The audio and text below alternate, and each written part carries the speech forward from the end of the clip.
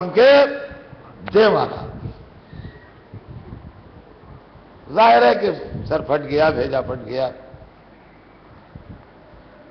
वो शहीद हो गए। उनका खून नाहक बह गया। लेकिन आपने इससे कुछ सबक लिया। इसको गुस्सा आया खुदा पर। कत्ल किया हाबील को। गुस्सा आया खुदा पर। कत्ल किया हाबील को। जिस पर गुस्सा आया उससे नहीं बोला। जो बेखता था उसे मारा। तो कहेंगे, खुदा मिले कहा जो हम उसे मारे? लिहाजा अल्लाह नहीं मिला तो अल्लाह वाले को मारा।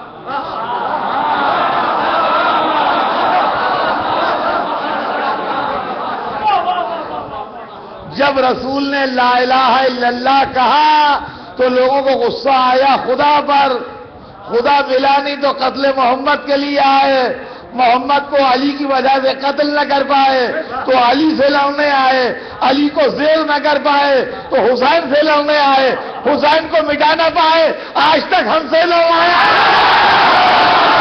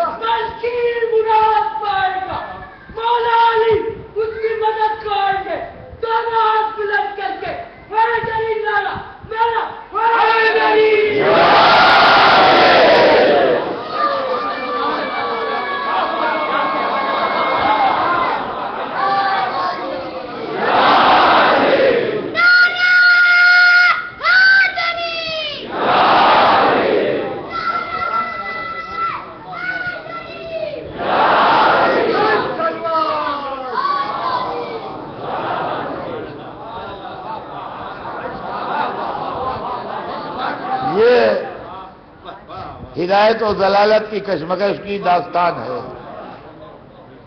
यहाँ से हक व बातिल के मारिके का ओरिजन हो रहा है, इब्तदा हो रही है। ज़मीन पर पहला खून नाहक गिरा है। इसके पहले ज़मीन का दामन साफ़ था बिल्कुल, कोई धब्बा नहीं था खून का उस पर। पहला बेगुनाह के खून का धब्बा ज़मीन पर पड़ा। एक नबी का बेटा कत्ल हुआ। और मोहब्बत खुदा में मारा गया। रवायत बताती है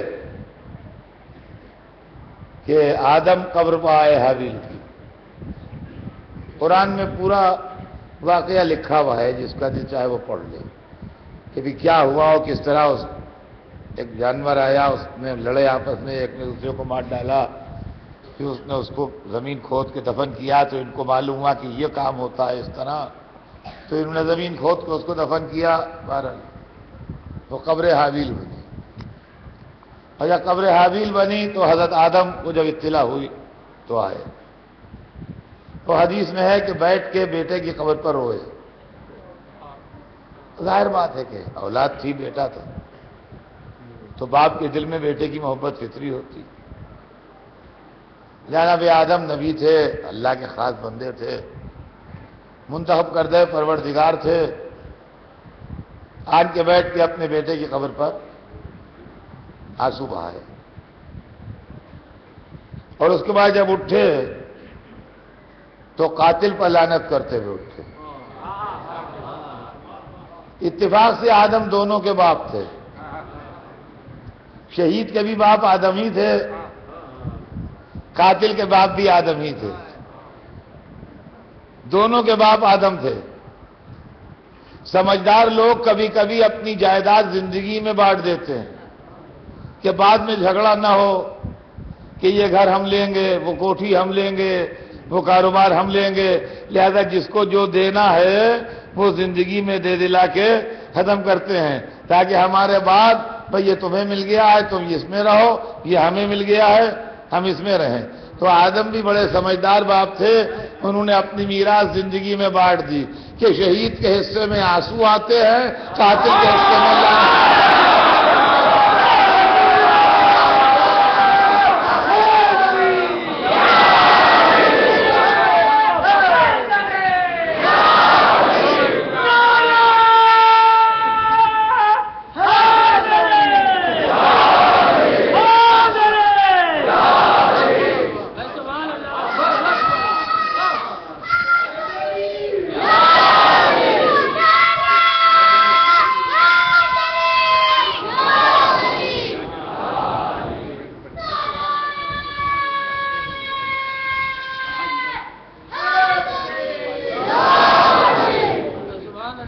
अक्सर वेस्टर हम चूँकि मंडली से पढ़ते रहते हैं इसलिए हमसे अक्सर ये सवाल होता है कि जनाब, वाला हम लोग काबिल की नस्ल में है काबिल की?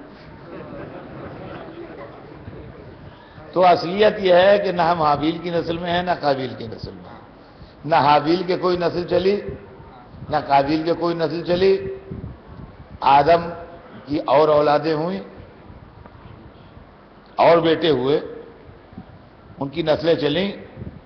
उनसे हम लोग हैं। और ये भी दुश्मनान अहले वैत की रवायतें हैं कि आदम के बेटे बेटी में शादी होती थी। ऐसा भी नहीं है। अल्लाह ने जैसे हज़रत अव्वा को हल्क किया है, वैसे आदम की औलादों के वास्ते भी उसने बीबियाँ हल्क की।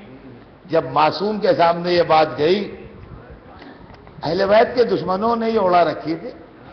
जब इल्म नहीं होता तो जो समझ में आता है, जाहिल मुल्ला पहले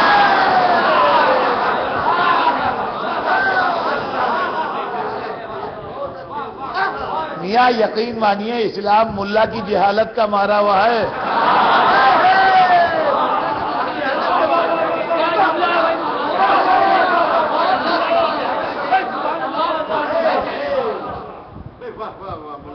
अब कुछ समझ में तो आया नहीं, कहा एक बेटा होता था, एक बेटी होती थी, शादी कर देते थे। अस्तफरल्ला ये तो मामला ये है कि पीतल कह के आप सोना बेच रहे हैं, सोना कह के पीतल बेच रहे हैं। और जाहिल लोग बेचारे जिन्होंने ज़िंदगी में देखा नहीं, वो सोने के पैसे दे के पीतल ले रहे हैं। सोने के पैसे दे के चमकता हुआ पीतल खरीद रहे हैं। अब ये राज खुलेगा कब? जब किसी जौहरी के पास आप लेके गए।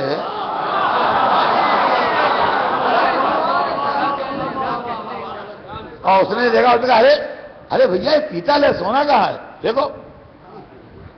वो लेके गए थे कि भाई, ये सोने का कड़ा है, ये मतलब दस हज़ार रुपए का है।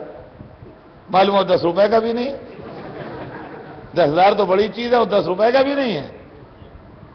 मतलब फेंको, दस रुपए का भी नहीं है पीतल है तो पता जब चलता है, जब वो टच स्टोन तक जाए, कसौटी तक जाए, जौहरी तक जाए, तब पता लगता है अभी अपने लोगों ने पूछा कि नस्ल कैसे चली? उनका हाँ एक बेटा, एक बेटी होती थी, शादी हो जाती थी।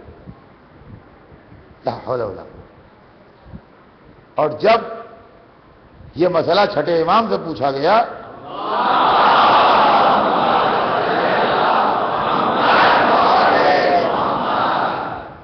कि लोग कहते हैं कि आदम की एक बेटा, एक बेटी होती थी, उनमें शादी हो जाती थी तो रवायत में है कि हज़रत तकिया लगाए तशरीफ़ फरमाते महफिल में तकिया लगाए हुए तशरीफ़ फरमाते तो एकदम चेहरे पर गजब के आसार पैदा हुए और आप उठ के बैठ गए। और आपने फरमाया कि क्या तुम खुदा से इस बेहयाई की तो रखते हो कि बहन भाई में शादी करा दे?